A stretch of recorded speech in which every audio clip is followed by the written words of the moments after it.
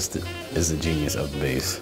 I mean, naturally, I got to Paul Chambers from the the Miles Davis quintet. Hands down, one of the greatest rhythm sections of all, of all time. You know, everything he did was melodic and swinging and soulful.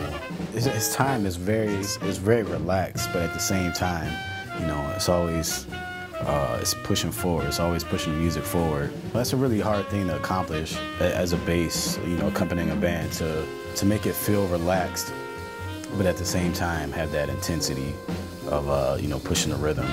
And PC had that, and, and, the sound was just so warm. When PC is on the track, there's no question of who who else that could be.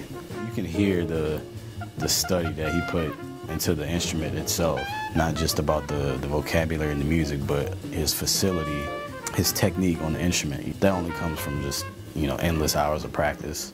I mean, if you tell me how many bass players you know that can solo with the bow, I mean, you can you can probably count them on one hand. Um, in the classical world, that's that's what you do all the time.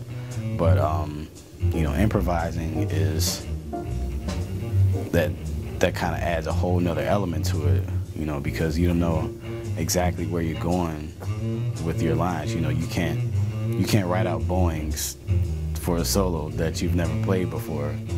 PC was like really the first cat I really, really got into. And um, I thought everybody was supposed to do that, you know. I thought everybody solo with the bow, you know, because I heard him take all these these arco solos, and you know, I was studying classical music, and you know, I was learning how to play with the bow, and so I'm, you know, this was all just making sense to me now. I was like, okay, you know, you should, be, you should be able to take a solo pizzicato or arco. All right, that's I guess that's just the way it is. You know, come to find out, that's not that's not the way it is at all. You know, he was an exception. Um, still to this day, man, there's there's not a whole lot of guys that want to mess with that bow. You know, there was nothing that he couldn't do on an instrument.